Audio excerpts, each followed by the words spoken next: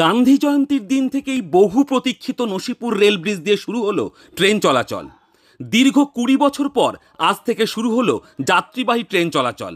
প্রধানমন্ত্রী নরেন্দ্র মোদী এবং রেলমন্ত্রী অশ্বিনী বৈষ্ণব ভার্চুয়ালি এই যাত্রীবাহী ট্রেনের শুভ উদ্বোধন করলেন পিতৃপক্ষের শুরুতে। ফলে মুর্শিদাবাদবাসীর আরও একটি প্রতীক্ষার অবসান হলো সে কথা বলাই যায়।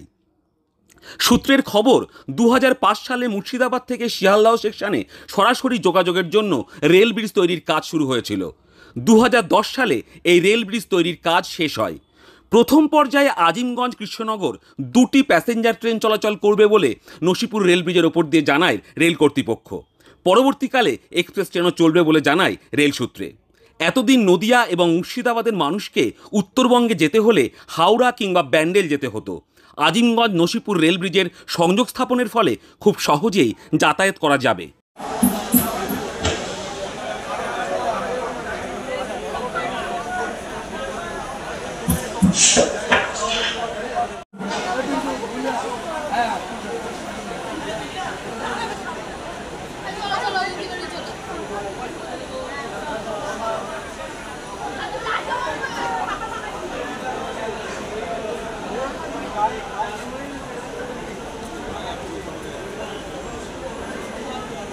আজকে আমরা একটা ঐতিহাসিক মুহূর্তের সাক্ষী হলাম।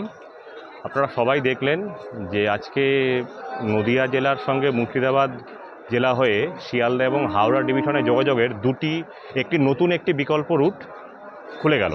এতদিন পর্যন্ত ওই সিসিআর সেকশন অর্থাৎ ডানকুনি ডানকুনি সেকশন এবং নৈহাটি ব্যান্ডেল দিয়েই শিয়ালদা এবং হাওড়ার সঙ্গে যোগাযোগ হতো। এখন আমাদের মুর্শিদাবাদ মুর্শিদাবাদ জেলার নসিপুর ব্রিজের মাধ্যমে মুর্শিদাবাদ এবং আজিমগঞ্জ এই দুটো স্টেশন যুক্ত হয়ে গেল। এর ফলে আমাদের নদিয়া, উত্তর চব্বিশ পরগনা, মুর্শিদাবাদ, মালদা বিরাট অংশের মানুষের একটা বিরাট উপকার হলো এবং আমরা এই ঐতিহাসিক মুহূর্তে আজকে আমরা এখানে উপস্থিত হয়েছি। আমরা ধন্যবাদ জানাই সব পক্ষকে।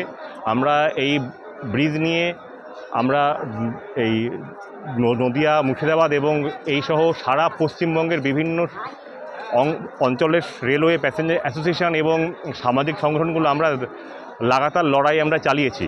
তার প্রাথমিক সুফল আজকে আমরা আমরা পেলাম একটি কৃষ্ণনগর আজিমগঞ্জ প্যাসেঞ্জার ট্রেনের উদ্বোধনের মাধ্যমে।